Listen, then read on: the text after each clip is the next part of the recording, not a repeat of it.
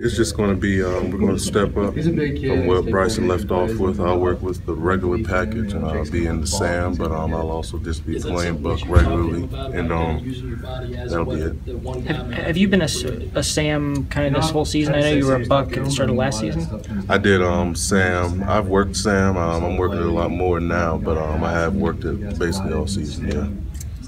How do you look at this? Is this a big opportunity? I mean, it's an opportunity, of course. I mean, you get a chance to get more snaps, so I mean, I got to make the most of it. So yeah, it's definitely a huge opportunity. Did you feel like you were playing as much as you wanted in those first three games?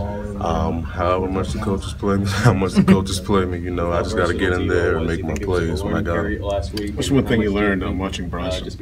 Um, you just gotta play fast. You know, if you play fast and if you mess up, it'll make up for a lot of those little mess ups. And if you can go out there and go fast, it'll just come to you better.